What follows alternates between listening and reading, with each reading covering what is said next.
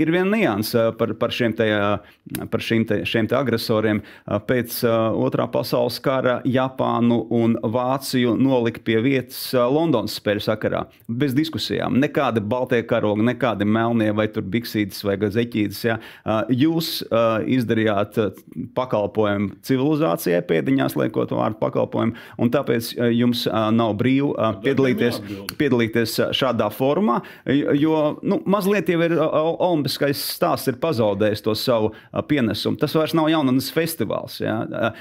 Vairāk politikas tur ir nekā, nekā sacensības tajā sportiskajā nozīmē. Ja? Šie cilvēki, visi, kas tur piedalās, ar, ar ļoti maziem izņēmumiem, ir profesionāļi, tā sauktie. Viņi ar sportu nodarbojoties, it kā arī pelna naudu. Ja? Nav tā kā nu, pirmsākumos tas bija. Es nerunāju par kaut kādiem tur, Romas laikiem, es runāju par to pašu 36. gadu vai pirms otrā pasaules kara. Tie bija darba, jauni darba ļaudis, kuri, tad, kad viņš ir beidzis evolēt kādu, nezinu, galda kāju, ja viņš saka, zina, kā viņš šovakar basīties un uzspēlēt. Ja.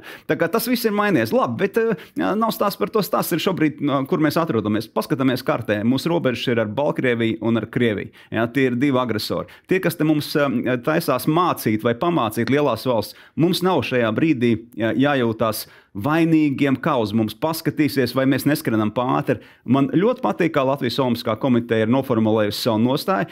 Tā ir jāizturas pret apstākļiem, kādos mēs šobrīd esam ieraudzījis. Skaidra valoda, stingra, skaidra valoda, jo neviens nenomirs, ja neaizbrauks uz Olimpiskajām spēlēm, bet Ukrainā nomirs.